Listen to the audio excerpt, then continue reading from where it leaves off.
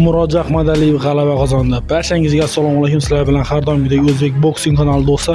bugungi videoligimiz hamyurtimiz bugun tongda 10 jangini o'tkazdi. IBF hamda WBA chempionlik kamarini himoya qildi.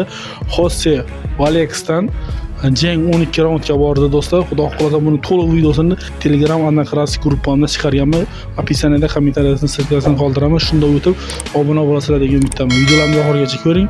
Yoqsa layk bosing fikrlaringizni kommentariyada yozib qoldiring. Xotirda sizlarga hamyurtimizni jangdan keyingi e, tabriklarni albatta sizlarga qo'yib beramiz. Mana shu videoligimda ko'rib bilishlaringiz mumkin do'stlar albatta kanalga obuna bo'lishni unutmang. Sizlar bilan o'zbek boksing kanali bo'ldi. Keyingi videolarda ko'rishguncha do'stlar salomat bo'ling Agarda kanalimizga yangi bo'lsangiz, podpisatsiya hamda like tugmasini bosib qo'yishni unutmang. Qo'ng'iroqcha tugmasi ham yodingizdan.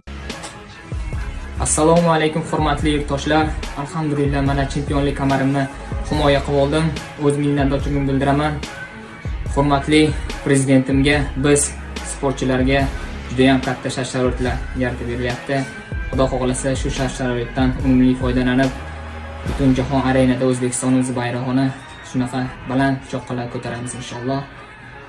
Yana bir bor o'z minnatdorchiligimni bildiraman. O'zbekiston boks federatsiyasiga olimpiya qo'mitasiga ota onamga murabbiylarimga pepsi kompaniyasiga buka boksingga basalt kompaniyasiga o'z minnatdorchiligimni bildiraman.